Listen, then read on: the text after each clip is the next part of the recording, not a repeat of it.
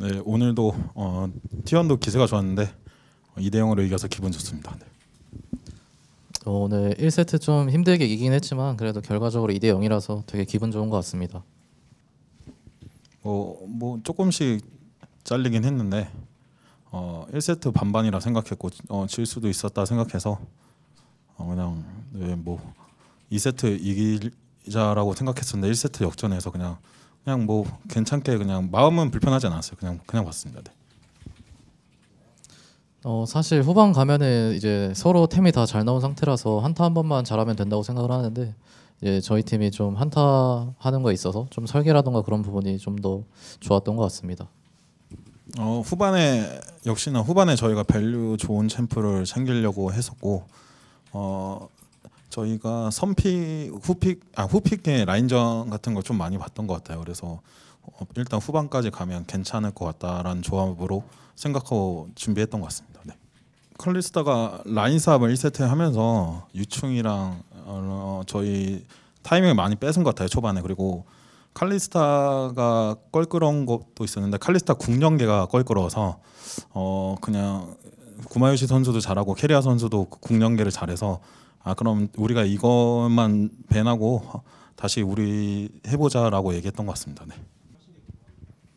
어 이제 그때 당시 좀 용쪽에 상대 상대편이 시야가 많이 있었고 이제 그리고 저희가 좀 집에서 나오는 상황이었는데 그때 이제 텔레포트를 이용해서 먼저 자리 잡아놓고 이제 상대 나오는 거 좀 건들 생각이었는데 이제 마침 릴리아가 그때 바이게 먹는 게 보여서 좀 뭐 운 좋게 뭐 잡았던 것 같습니다.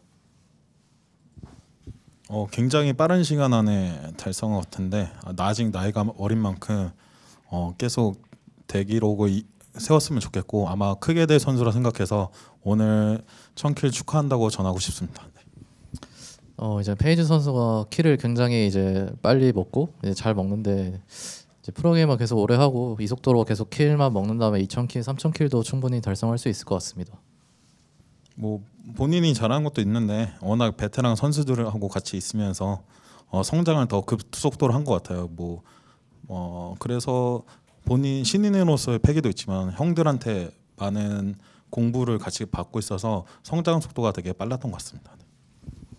어 페이지 선수가 이제 킬이나 뭐 CS 먹는 거에 욕심이 굉장히 많아서 뭐 킬도 그렇고 이제 그런 성장적인 성장력 뭐 그런 것들이 다 욕심도 많고 잘하기도 해서 그런 것들이 다 네, 따라오는 것 같아요.